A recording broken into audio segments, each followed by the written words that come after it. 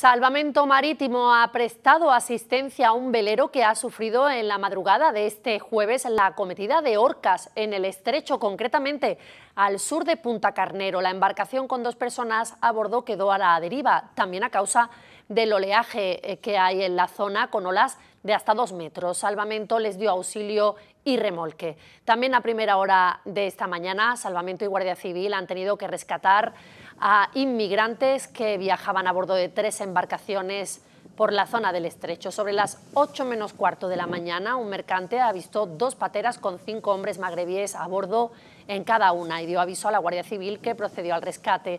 Pocos minutos después, la salvamar de Nébola de Salvamento rescataba a dos varones más, también de origen magrebí, que intentaban alcanzar las costas españolas en un kayak. Todos han sido trasladados al puerto de Algeciras.